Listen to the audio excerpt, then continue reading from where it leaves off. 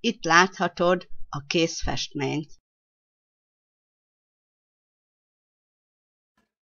Kicsit dolgozzunk a hajon is.